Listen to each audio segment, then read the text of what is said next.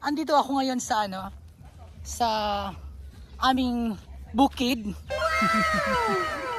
na masyal dahil gusto ko nga makita yung place. So ito siya, ito yung kuprahan namin ng hindi personal sa akin, sa kapatid ko pala. Ito yung mga kuprahan. Tapos na kami nagkupra at ito nakapasyal ako dahil gusto kong magpakuha ng mga fresh buko, di ba? Kasi ang mahal ng buko sa Maynila, grabe. 40 to 50 yata yung isang piraso. Dito, manguha ka lang, magpaalam ka lang. At syempre dahil hindi ko kayang umakyat dahil sobrang taas, kailangan kong mag-request ng ng akyat at bibigyan na lang ng ng pang ano, pang bigas, charot, pang merienda, di ko alam kung anong term na gagamitin. Basta yon hindi pwede ang libre dahil, di ba, mahirap din. Pero maging masaya din naman, happy ang lahat. At, nakatim akong umakyat, pero mataas siya, parang hindi ko kakayanin. Gusto ko kasing akyatin sana. Ito, ngayon, try namin, try namin mag-attempt. Tsaka syempre, natatakot ako. Wow, hindi na kasi ako sanay after mga siguro 20 years, nakapunta ako sa mga ganitong place ulit. Masaya dahil syempre amin naman to. Maraming uh, ito yung kuprahan. Katapos lang magkupra, masaya dahil nga syempre may income. At saka nakakatulong ka din sa mga mga tao. Kahit paano. Ito ngayon, guys, Meron kaming mga saging. Meron din sagingan naman. Mga... Dito talaga mabubuhay ka. Pero syempre, hindi ko na kaya ang ganitong buhay. Diba? Ang arte. Hello! Ito na. parang, parang uh, bongga din siya. Masaya din dito kasi nga, pag titingnan ka din ng mga tao, charot kaya natatakot talaga ako dahil natakot ako sa snake. Oh my gosh. Sa bird hindi. Ito may umakyat na. Diba? Guys, tingnan nyo. Yan, ang tataas. Hindi ganun kataas pero natataasan pa rin ako.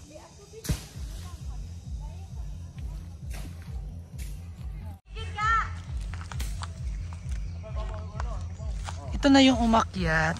Marami nang nakuha na buko.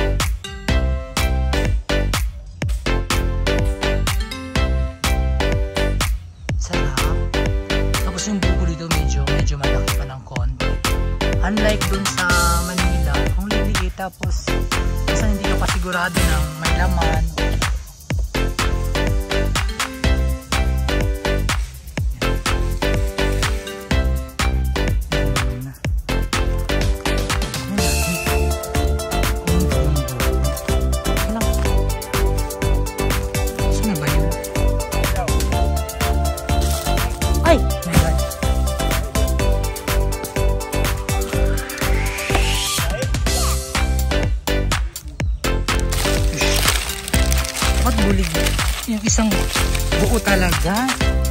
Lalaki ng buko dito. Hindi ka na malugi sa 14 ko. Ay my God! Ano sa nagulo? Sis! Yan.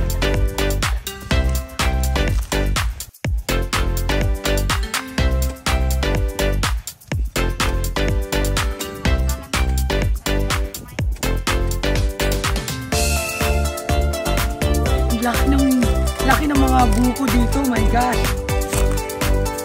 Perfect. Pwede kayo magbisita namin sa ano, sa place. Sa aming bukuhan. Kupra.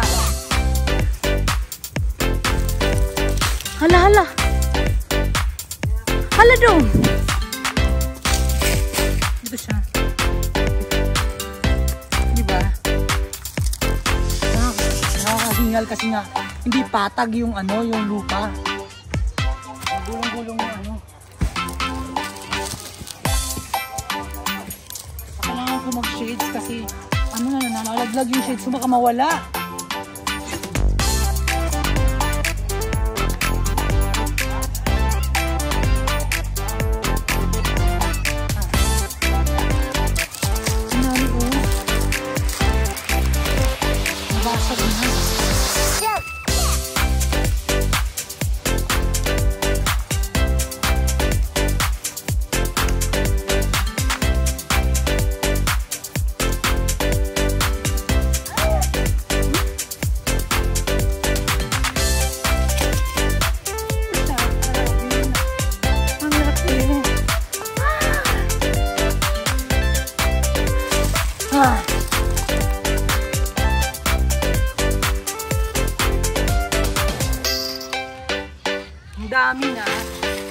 Na to marami din doon. Parang mga 30 pieces na parang sobrang dami na. Okay na siya. Guys, super ang sarap. Feeling ko, tsaka lalaki. Kaya sulit na sulit talaga yung pagpasyal ko dito ngayon. Bago ako babalik sa Japan, Malaysia. Bubuksan na namin ano na, eh, ano na yung tawag doon? Yung bubuksan na siya para ilagay namin dun sa Pinag-umpisa na yung mga bagets, napakasipag. Kaya, tingnan natin guys. Hello mga kidus! Babay kayo, babay. Hello! Ito yan, ito yun. Ito yun. Ba't, ba't kunti pa lang? Yun.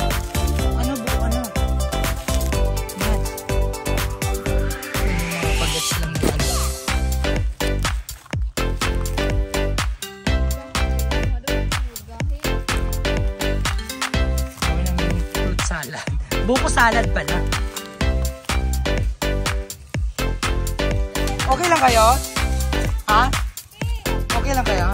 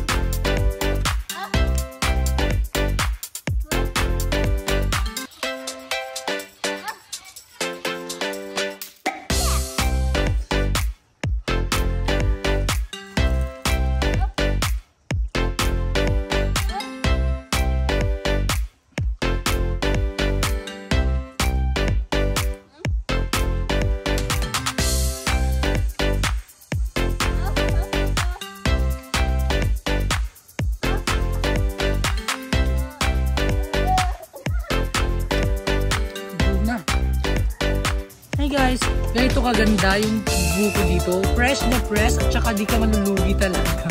Talagang ang ganda ng laman, talagang perfect yung pagka, pagkapili galing sa puno.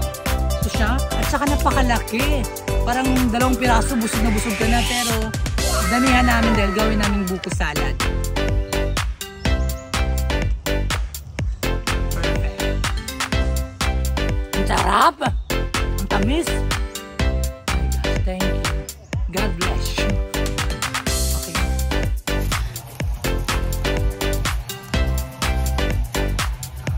Ito na, busy-busy na yung mga baget. Kukuskus ng buko.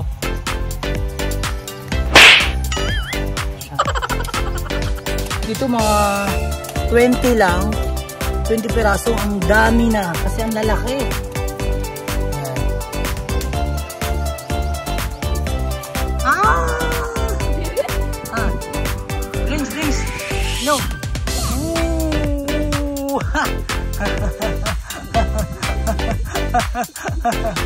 Oh.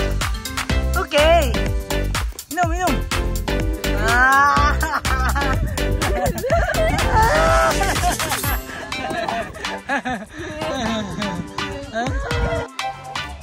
Hmm. Ang sarap.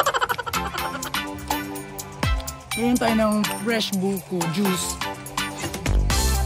fresh from the trees of buko juice. Coconut tree.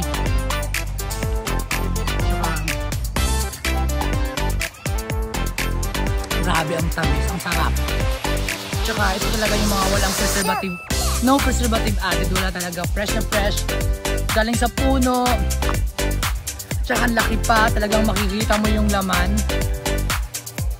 The best. Ay mga kiddos, okay lang kayo dyan? Ano natin yung yung isa guys, talagang mabubusog na kayo. Ito muna, yung fresh muna natin dahil later gawin natin yung buko salad. Kasi gagawin yung buko salad ni sister. Ano? Sarap.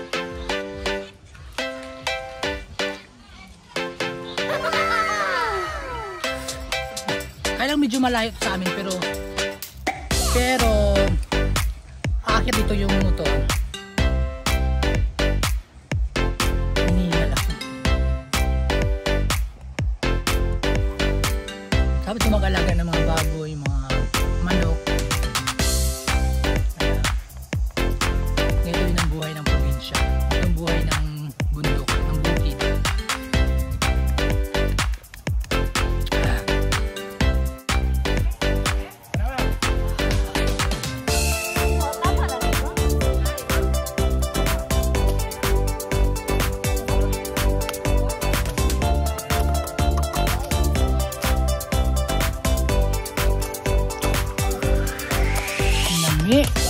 Sarap.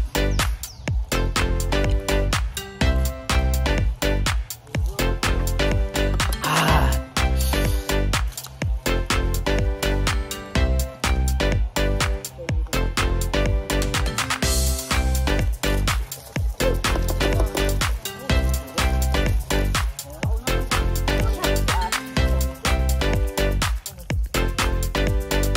Ito na, ang dami. Ang dami namin nakuha ang buko.